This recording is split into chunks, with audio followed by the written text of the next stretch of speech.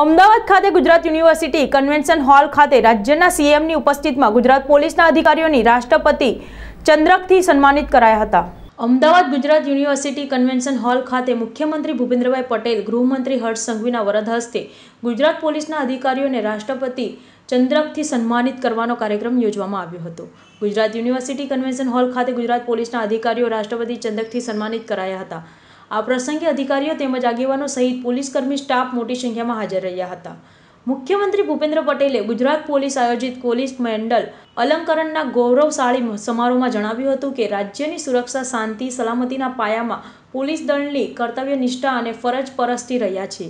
પોલીસે વાઇબ્રન્ટ સમિતિ ઉદ્યોગ વેપાર સહિત જગતમાં ગુજરાતની વૈશ્વિક છબી ઊભી કરી છે. આના પરિણામે દેશ વિદેશમાં અધિકારીઓના પરિવારજનોના ગૌરવ ક્ષણે સહભાગી થયા હતા. મુખ્યમંત્રી ભૂપેન્દ્ર પટેલે નરેન્દ્ર મોદી, કેન્દ્રીય ગૃહમંત્રી, ભારતના રાષ્ટ્રીય પ્રતિ દ્વારા ગુજરાત અમિતભાઈ શાહના માર્ગદર્શન અને પોલીસ દળના નવ્વાણું જેટલા અધિકારીઓ પ્રેરણાથી ગુનાખોરી માટે ઝીરો કર્મીઓને પ્રસન્નીય સેવા, વિશિષ્ટ સેવા માટેના જાહેર થયેલા પોલીસ મેડલ્સ અમદાવાદમાં અર્પણ કર્યા હતા.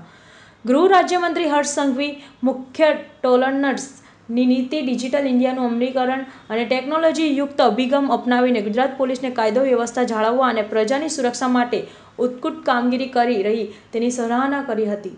તેમણે પોલીસ દળના અધિકારીઓ, કર્મીઓને કપરી ફરજોમાં, સંજોગોમાં તેમના પરિવારજનોનો પણ સહયોગ આપીને સમાજ સેવાદાયક નિભાવી રહ્યા છે તેની પણ પ્રશંસા કરી હતી. ગૃહ રાજ્યમંત્રી હર્ષ સંઘવીએ જણાવ્યું હતું કે રાજ્ય પોલીસ દળની ફરજ પાલન પર પસ્તીઓને તેમને ગુજરાતને દેશભરમાં સુરક્ષા બાબતે અવ્વલ રાખ્યું છે. તેમણે કહ્યું કે બે હજાર બેથી બે હજાર બાવીસ સુધીની ગરવી ગુજરાતથી વંદે માતરમ સુધીની સફળતા પાછળ ગુજરાત પોલીસનું પણ મોટું યોગદાન રહ્યું છે. તેમણે જણાવ્યું હતું કે વડાપ્રધાન નરેન્દ્ર મોદીએ ગૃહમંત્રી અમિત શાહને કાયદો અને વ્યવસ્થા બાબતે અનેક મહત્વપૂર્ણ નિર્ણયો કર્યા તથા પોલીસ વિભાગને પણ લો એન્ડ ઓર્ડર બાબતે કામ કરવાની સંપૂર્ણ સ્વતંત્રતા આપી છે. ડ્રગ્સ વિરોધી ઝુંબેશમાં ઉલ્લેખ કરતા તેમણે ઉમેર્યું હતું કે પોલીસની કામગીરી આજે ડ્રગ્સ માફિયાઓને ફફડાટ છે.